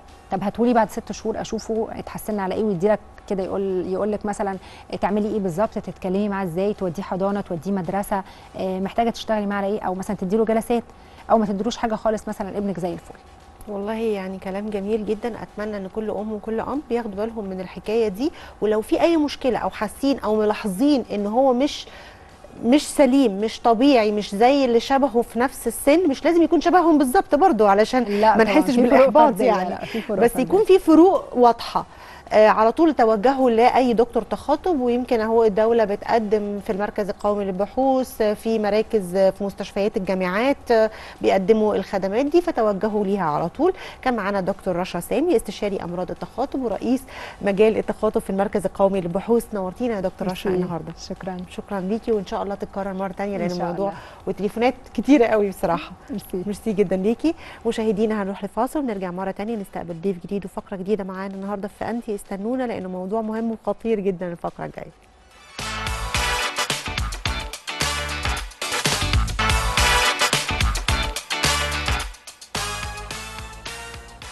رجعنا لكم مرة تانية مشاهدي أنتي بنستقبل ضيف جديد وفقرة جديدة النهاردة. وطبعا يمكن أوقات كتير بنمر بمواقف ما بنبقاش فاهمين فيها حالتنا النفسية شعورنا الداخلي بنبقى محتاجين نركز جوانا كده ونفهم إيه حقيقة احساسنا والشخبطة واللخبطة اللي حاصلة جوانا دي. أو إدراكنا كده للمواقف وأمور بعينها في حياتنا. وده بي- بيسموه mindfulness أو بالعربي اليقظة الذهنية. وده بيكون له دور مهم جدا جدا في تعاملاتنا ومواقفنا في الحياة وال mood ال mood كمان اللي بنعيشه في فترة كده من الفترات سواء كان mood له علاقة بالتوتر أو mood له علاقة بالاكتئاب أو حتى تردد في أمر ما مثلا في حياتنا مش عارفين ناخد فيه قرار فهنتناقش في كل الحاجات دي النهاردة مع الأستاذة سماح أبو السعود وهي مدربة اليقظة الذهنية اللي هتنورنا النهاردة وهتفهمنا إيه هي يعني أو هتكلمنا عن المفهوم الجديد ده وإزاي ممكن نستفيد منه في حياتنا اليومية. أستاذة سماح أهلا بحضرتك معانا النهاردة. أهلا بيكي الكلام اللي أنا قلته بقى ده فعلا بيعبر عن اليقظة الذهنية ولا لأ؟ لأن أنا عايزاكي تشرحيها لي بقى إيه باستفاضة آه، كده. نوعا ما آه. بصي هو انت قلتي هو حاجة جديدة. هو اكشلي هو مش حاجة جديدة. هو. حاجة يعني بقى لها سنين كتير. بس هو ابتدى يتعرف يعني قريب. آه مش قريب في التسعينات مثلا ابتدى يتعرف في ال western places بس هو يعني ال mindfulness لو إحنا ركزنا شوية هو اليقظة الذهنية دي إن إحنا نبقى حاضرين. تمام؟ بالظبط. فإن أنا أبقى حاضرة دي يعني ده الأديان السماوية بتحث عليها علشان أنت لما تيجي تصلي المفروض إن أنت تبقي حاضرة المفروض إن أنت تبقي كلك في اللي أنت بتعمليه. تركيزك كله في الصلاة تركيزك لما بتيجي تدعي نفس الحكاية. فهو ده حاجة المفروض إن هي حاجة تبقى إحنا كلنا نعملها. ليه؟ علشان إحنا دلوقتي طول ما إحنا ماشيين إحنا ماشيين بال auto pilot mode دماغنا هي ماشية متبرمجة. متبرمجة based على إيه؟ على experiences قديمة. ليه بقى experience قديمة؟ ليه مش هو جديدة؟ هو العقل العقل بتاعك بيجي المفروض إن هو بيتبرمج على أساس الحاجات اللي بتحصل من يوم ما بتتولدي مم. لحد ما بتكبري. كل ما بتكبري ال experiences بتاعتك بتزيد. فبتبتدي زي مثلا هقول لك example انت بتصحي الصبح أول حاجة بتعمليها إيه؟ مثلا ممكن آكل أفطر على طول أشرب مية آه أقعد شوية أركز بتفتحي شوية. عينيكي. إحنا معظمنا بيفتح عينينا بيبص على تليفونه مم. يغسل وشه يعمل معرفش إيه. فبتبقي بتحسي إن في حاجات انت مبرمجة عليها بتعمليها unconsciously من غير وعي. من غير وعي. بس. فهو المطلوب إن انت تبقي واعية ما تبقيش ماشية طول الوقت بال auto pilot mode مفيش فهي حد هو اللي بيمشيني يعني. ال mindfulness إن انت لو إحنا هنعرفها كتعريف هي إن انت تبقي حاضرة وإن انت تبقي اللي هو لحظة عايشة لحظة بلحظة. عايشة لحظة بلحظة دي أبقى حاسة بنفسي أبقى حاسة. عارفة فاهمة أفكاري واخدة بالي من أفكاري. من إحساسي من الحواس بتاعتي لما أمسك كوباية مثلا أبقى حاسة بيها أي حاجة آه، أبقى واعية بمشاعري ما بقاش اللي هو في مشاعر ملخبطة جوايا. كل حاجة أبقى واعية بيها لحظة بلحظة وأهم حاجة بقى إن كل ده يحصل من غير ما يبقى فيه أي أحكام. إزاي يعني أحكام؟ أحكام يعني أنا مني على. نفسي؟ ممكن أحكم مني على نفسي ممكن أحكم مني على غيري. إحنا بنصدر أحكام كده مننا اللي هو according لل إحنا فاهمين إيه أو إحنا شايفين مرجعيتنا إيه. إيه أو اتجاهاتنا إيه. بالظبط. فهي دلوقتي أنا ببقى حاسة يعني باخد بالي من أفكاري ومن الحواس بتاعتي ومن مشاعري ومن كل حاجة من غير ما أصدر أي أحكام. إزاي الكلام ده يعني إيه؟ يعني for example مثلا أنا دلوقتي متضايقة حصل موقف ومتضايقة منه. خلاص. فأنا هاجي هتضايق هبقى واعية إن أنا متضايقة من الموقف ده. مش- أنا مش ما اتخلقتش متضايقة. طبعا. أنا اتضايقت عشان موقف حصل. آه موقف حصل لي كده فضايقني. فاتضايقت. فهبقى واعية طول ما أنا واعية إن أنا الموقف ده حاصل فأنا متضايقة منه دلوقتي فهبتدي بهدوء أفكر أتقبل الخطوه الثانية بتبقى التقبل بقى وده ممكن مم. نتكلم عليه ان ديتيلز بس هي الخطوة بتاعة التقبل دي إن أنا أتقبل الموقف اللي حصل لي ده وما أصدرش أحكام. هو موقف حصل. أنا حاسة إن أنا متضايقة. لا هو لا هو إحساس حلو ولا هو إحساس وحش. أنا حاسة إن أنا خايفة. لا هو حلو ولا هو وحش. يعني في ناس تقول على الجبن إن هو حاجة ده حاجة وحشة أو الخوف. حاجة وحشة. آه ده جبان وما بيعرفش ياخد. قرارات وما عندوش شجاع بس هو sometimes أنا ممكن ابص للخوف بطريقة تانية إن الخوف بيخليني إن أنا أتجنب حاجات خطر. مم، مم، صح. فهو مفيد في بعض الأحيان. فكل حاجة ليها حاجتين الحب جميل ولطيف ولذيذ. طبعا. بس sometimes بيخليني مش شايفة قدامي فأدخل في حاجات غلط أو حاجات مضرة ليا. مم. يعني كل حاجة وليها سلاح ذو حدين حاجة. بت بت بتأيدها والتانية بترفضها. بالظبط. فهو أنا ما احكمش على حاجة هي حلوة. أنا عندي شعور معين هو شعور. عندي فكرة معينة هي فكرة. بس كده. خلاص. stop طب full stop إحنا. عايزين بقى نستفيد من اليقظه الذهنيه آه دي لما أجي مثلا say مثلا في ناس آه، بيجوا مثلا يقول لك أنا بحب الشتاء وأنا بحب الصيف وأنا إحنا أيوة دايما. بنتخانق كل يوم. الخناقات دي كل آه. يوم الخناقات دي. فهو هو ده حلو وأنا أنا بقعد أقول أنا بحب الصيف أكتر بس هو actually أنا بحب حاجات في الشتاء وحاجات في الصيف آه الحاجات اللي ما بحبهاش بقى خلاص يعني هي هي هو عشان يجي الفصل ده لازم أمر بالفصل ده صح فهو ما ينفعش إن أنا أقول على ده حلو وده وحش وده حلو وده وحش. هو فصل من فصول السنة. بس أنا مش عارفة ليه مصطلح اليقظة الذهنية ملمس معايا في حتة إنه أنا هيخليني على طول اليرت فده ممكن يصيبني بمرض الأرق إن أنا لا. يعني على طول في يقظة. بالعكس. لا بجد. هقول لك ليه. هي اليقظه الذهنية دي أو المايندفولنس أنا ما أقدرش أشرحها هي ما تتعلمش في كتاب آه، ولا تدرس هي بتبقى عبارة عن practices و exercises بنعملها آه، بنعود نفسنا عليها إن إحنا نعملها كل يوم. فبالتالي بنبقى واعيين بنفسنا. يعني مثلا for example انت وانت سايقة. مش ساعات بتلاقي نفسك مثلا سايقة من مكان لمكان. انت لا شفتي انت عديتي على إيه. ولا عرفتي انت شفتي ولا شفتي حاجة. انت ماشية في العربية بتفكري و sometimes في ناس بت بتقعد تكست وحاجات كده. طيب ده لو أنا السواقة دي أكتر حاجة مطلوب فيها التركيز. أنا لو جيت دلوقتي مركزة في السواقة لازم أبقى مركزة على الإشارات لازم أبقى مركزة على العربيات اللي جنبي في المرايات الحاجات دي كلها. وإلا هيحصل إيه؟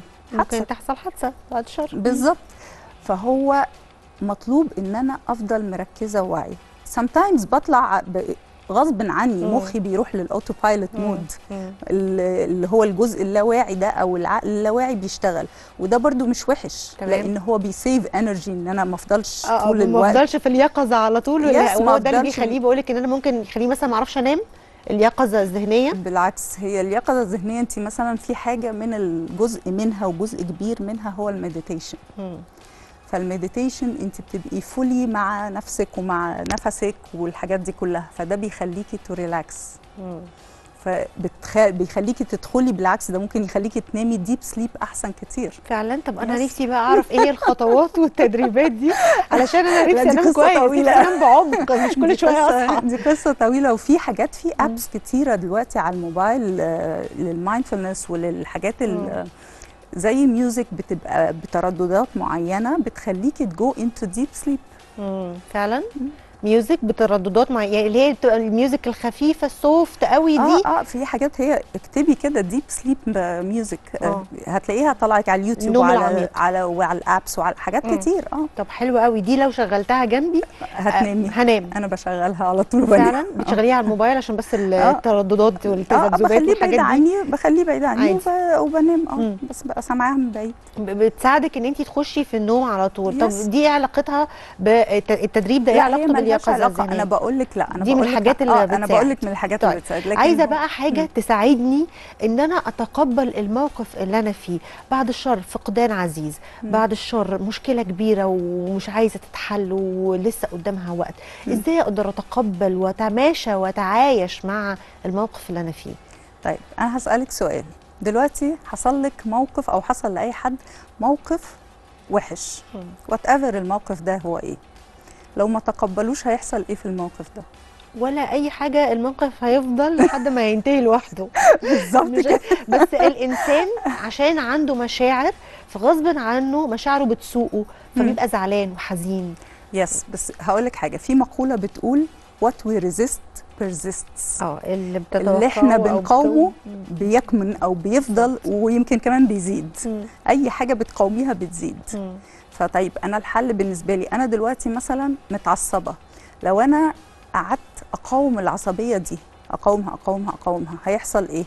هتعصب أكتر؟ هتعصب أكتر هتعب هتعب. جسمي هيتعب وعضلاتي ه tension وكل حاجة ه tension. طيب أنا متعصبة من موقف. فبدل ما أتعصب من الموقف ده أنا هتقبله.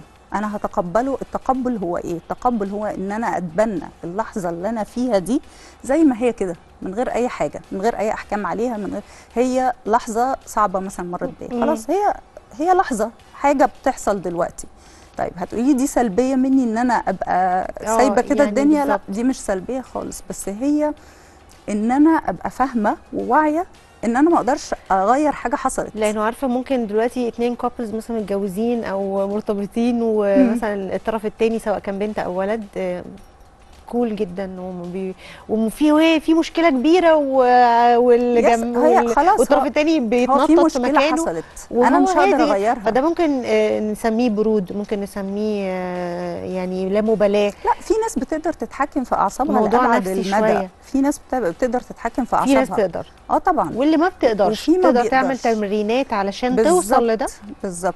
أنا دلوقتي أنا يعني أنا شخصيا كنت شخصية عصبية جدا. ابتديت أهدى حبة بحبة. يعني أنا ال mindfulness ده غيرني أنا شخصيا جامد جدا وأثر في حياتي. عشان كده أنا يعني مهتمة دايما إن أنا اعرفه للناس. طب و... واخد معاكي وقت قد إيه بقى علشان توصلي من واحدة عصبية لشخصية هادية بتتقبل الأمور زي ما هي؟ مش هقول لك إن أنا ما بتعصبش. ما هو أنا مخلوق. بشري برضو طبعا. لازم هتعصب وهتضايق وبعيط وكل حاجة. بس حتى وأنا بعيط مثلا على حاجة أنا واعية إن أنا بعيط على الحاجة دي. عشان أنا متضايقة دلوقتي وهتخلص. أنا بطلع ال negative energy اللي جوايا وخلاص. خلاص؟ فكرة التقبل فوعي ده آه إن أنا أبقى متقبلة ده. أنا بقول لك التقبل هو إن أنت بتتبني اللحظة اللي أنت فيها زي ما هي. من غير أي ما تعملي فيها أي حاجة. بعد كده بتبتدي تشوفي لأن هي خلاص هي حاجة حصلت. حاجة حصلت. إن شاء الله لو هي اللحظة اللي فاتت هي ماضي. طيب ال- المديتيشن له علاقة باليقظة الذهنية أو بفكرة التقبل أو الحاجات دي كلها اللي بتتبناها اليقظة الذهنية؟ بصي ال meditation عامة هو في أنواع كتير من ال meditation خلاص؟ في الحاجات اللي هي بتاعت ال breathing techniques ال breathing techniques دي بتساعد بقى يعني في حاجات مثلا breathing technique يخليكي in balance في breathing technique يخليكي يديكي energy طب هو ليه الواحد لما بيبقى متعصب جدا جدا بيقعدوا يقولوا له خد, نفس, نفس. طويل آه. مش ليه إيه علشان هستفيد انت إيه؟ لما تاخدي نفس ما هو بقول لك ليها هي مم. ليها techniques فانت في مثلا اللي هو بتاع ال letting go ان انت تطلعي من جواكي التوتر أو حاجة مم. انك انت تاخدي نفس قصير وبعدين تطلعيه كتير في كتير يعني اخد النفس مثلا كده واطلع أفضل فابتدي أطلع وده بيبقى بالراحة ولا برضو باندفاع لا لا بالراحة. بطلع خلاص بقى. بفضل أطلع كده. لو أنا قعدت شوية كده بلاقي نفسي هديت. مم،. طب قولي لي بقى يا أستاذة سماح آه، ال practice دي أو الحاجات دي أنا لازم أنا ممكن أعملها لنفسي في البيت ولا لازم حد يكون متخصص ودارس الحاجات دي أو عارفها كويس جدا وعارف لا، هو ال techniques بتاعتها هو اللي لازم يساعدني إن أنا لا أعملها. يفضل طبعا إن حد يعرفك ال techniques دي الأول لأن هي ما بتمشيش كده يعني مم. هي لازم بتبقى خطوات. plus إن هي برضو هو في حاجات كتيرة أصلا تخليكي تبقي alert أو تبقي انت مش alert إن انت تبقي في ال present moment الح... من الحاجات yes من الحاجات دي مثلا هقول لك على حاجة ممكن آه، تعتبريها حاجة عبيطة جدا إن انت آه انت مثلا ايديكي ال dominant يمين أو شمال لما تيجي في يومك في خلال يومك تستخدمي استخدمي الإيد التانية. ليه بقى؟ هتلاقي نفسك بتفكري بت انت انت بت... بت... مركزة. أيوه فاهمة؟ طبعا. انت مركزة في يعني مش بتعمليها. عشان انت unconsciously بتمسكي مثلا لو انت باليمين بتمسكي باليمين لو انت مم. بالشمال بتمسكي بالشمال. لكن لو انت بتعملي خلاص انت النهارده أنا. بدل ما هاكل باليمين هاكل بالشمال. بدل ما هغسل سناني بإيديا اليمين هغسل سناني بإيديا الشمال. بدل ما همسك الحاجة باليمين همسكها بالشمال. فهفضل مركزة إن أنا عايزة أمسك بالشمال. فده هيخليني إن أنا في يقظة ذهنية. بالظبط. فهيخلي عقلي بدل ما هو شغال على طول باللاوعي. هيبتدي يشتغل بالوعي شوية. طيب حلو. فحبة بحبة بيبتدي طيب علاقة بقى اليقظة الذهنية والاستفادة منها وقت الامتحانات والمذاكرة والحاجات دي وهو دي بقى اللحظات اللي إحنا فعلا بنبقى عايزين أولادنا يكونوا موجودين فيها وقت يعني الجد. بصي بقى هي يعني المايندفولنس أو اليقظة الذهنية دي دي يعني أنا دلوقتي دخلت فيها في السن اللي هو بتاع المراهقين. مم. ليه بقيت instructor فيها للمراهقين؟ ليه؟ لأن هي أهم أنا شايفة إن هي أهم من الكبار كمان. لأن الولاد في سن المراهقة ده وفي سن المدرسة بيتحطوا في stress فظيع من طبعاً. كل ناحية. هم بيتحطوا في stress من صحابهم اللي في المدرسة بيتحطوا stress من المدرسين بيتحطوا في stress من ال expectations والتوقعات اللي هم شايفينها الناس متوقعة منهم إيه. آه، من المقارنات اللي هم بيقارنوا لأن في السن بتاع المراهقة ده دايما بيبتدوا يبصوا لبعض وللمغنيين والممثلين والناس دي. كلها فبيبتدوا إن هم كده. من مثلا الأهالي وانت لو ما نجحتش ما أعرفش إيه أنت في كل ال stress. ده طبعا طبعا. هو في ال mindfulness بيبقى تمام يعني مم. بيخليه بقى إن هو يقدر يقاوم ال stress ده بيديله self confidence لأن حاجة من الحاجات النفس. yes حاجة من الحاجات بتاعة ال mindfulness يعني steps towards mindfulness إن أنا بعمل آه، أول حاجة مثلا no judgment تاني حاجة ال acceptance فأنا دلوقتي يعني لما أول واحد- حاجة إني ما أحكمش على حد، آه، تاني إن مفيش حكم. تاني حاجة التقبل. طيب أنا لما آجي مثلا لو أنا حد مراهق في سن صغير أو حاجة وشايف أنا قاعد معاكي وشايف إن انت لا بتحكمي عليا ومتقبلاني زي ما أنا وتمام وإحنا بنتكلم كويس هيبقى عندي stress لا خالص طبعا. بالعكس هتكلم براحتي. كل ما بحس إن أنا هاخد ثقة في نفسي أكتر. بنبسط فده. بيخليني في حالة نفسية أفضل. هاخد ثقة في نفسي أكتر فهبتدي أتكلم أكتر. فهو حتى لما بنيجي نعلم السن ده ال mindfulness بيبقى جزء كبير منه جدا إن هو ي share هو حاسس بإيه. حلو قوي وانتي لمستي نقطة مهمة جدا كنا بنتكلم فيها في الفقرة اللي قبل كده عن فكرة التعثر في الكلام والتخاطب والتوحد مم. والحاجات دي كلها هل اليقظة الذهنية دي ممكن تكون نوع من أنواع التمرينات اللي ممكن تعمل وقاية للأولاد أو للأطفال إن هم آه، لما يبقوا بيكبروا بيكبروا طبقا لبناء صحيح وسليم وصحي وكده طبعا طبعا لأن هم بقول لك هي بتبقى مدياهم ثقة في نفسهم. بيتعلموا أنا كان في حاجة كده كان في بنت على تادكس يوث بتتكلم مرة بتقول هي عندها حوالي 13 14 15 سنة في ال range ده. فبتتكلم بتقول بيقولوا لها الأهالي بتصنفوهم إزاي؟ فقالت لك في نوع متسلط وفي نوع متسيب. طب أنتوا عايزين إيه؟ قالت أنا لا عايزة ده ولا ده. إحنا عايزين اللي يسمعنا. عايزين مم. أهلنا يسمعونا فهم دايما هم عايزين حد يشوفهم عايزين حد يتقبلهم عايزين حد يبقى ما يحكمش عليهم أي حاجة يعملوها مثلا اللي هي لو حاجة مش مش زي ال expected منهم فهو كده وحش مم. صح مظبوط هو فعلا آه، فكرة اللي هو يا ماسك قوي يا سايب قوي ما بالظبط ولا دي ولا دي يعني. أنا أنا عايزة حد يفهمني أنا عايزة حد يبقى يخليني واثقة في نفسي أقدر إن أنا لو جات لي مشكلة أروح لبابايا. ومامتي أقول لهم أنا عندي مشكلة. مظبوط ودي دي أكتر حاجة بقى بت... يعني بت... ب... ب... آه، في مشاكل كتير قوي بتحصل من ورا إنه أنا خبيت على مامتي وبابايا لأن أنا. لو رحت لهم هم مش هيقبلوني بالظبط. ولا هيقبلوا أفكاري فهيحصل مشكلة أكبر. بالظبط. بشكرك جدا أستاذة سماحه على وجودك معانا النهارده إيه. نورتينا وأكيد برضو يبقى لينا لقاء آخر نتكلم باستفاضة أكتر ونعمل بقى practice على الحقيقة كده عشان نستفيد يعني أكتر. شكرا ليكي. مشاهدينا كان معانا الأستاذة سماحه أبو السعود مدربة اليقظه الذهنية. أتمنى تكونوا استفدتوا معانا النهارده في اليوم كل ال mommies وكل ال- ال daddies وكل الأسرة المصرية يكونوا استفادوا النهارده معانا من كل اللي قلناه النهارده. أرجوكم ابعدوا أولادكم عن آه، آه، ال games ال animations الحاجات دي كلها لأنه بتأثر تأثير سلبي جدا عليهم. لو ما كانش في المستقبل القريب فهيبقى في المستقبل البعيد. أشوفكم بكرة إن شاء الله في حلقة جديدة وأنتي استنونا.